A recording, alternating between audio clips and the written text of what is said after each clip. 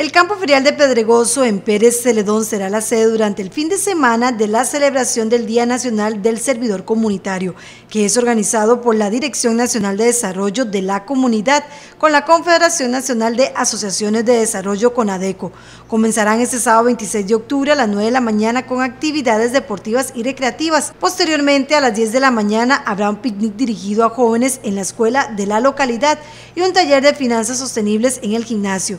Ya en la tarde, a la una, será el taller Cómo identifico las condiciones que hacen única a mi comunidad y que generen encadenamientos. A las 4 de la tarde habrá actividades taurinas y juegos tradicionales. Se cierra el día con un concierto bailable a las 8 de la noche.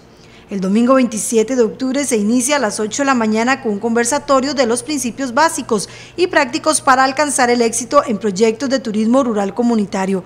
A las 8 y media de la mañana en la escuela habrá una charla dirigida a jóvenes sobre la relación con el dinero y a las 11 de la mañana se llevará a cabo el acto oficial conmemorativo al Día del Servidor Comunitario.